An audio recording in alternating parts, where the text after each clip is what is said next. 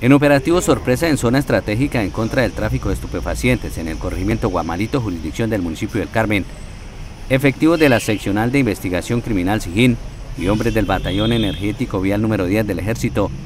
lograron las capturas en flagrancia de Vladimir Abril Amaya y Marlon Danilo Riobo Peinado por el delito de fabricación, tráfico y porte de estupefacientes.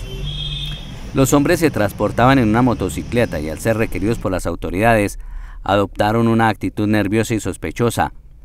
En el registro personal los uniformados les hallaron en su poder un morral negro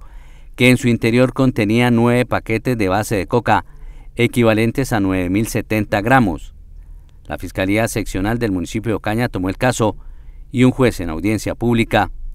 les dictó medida de aseguramiento en centro carcelario.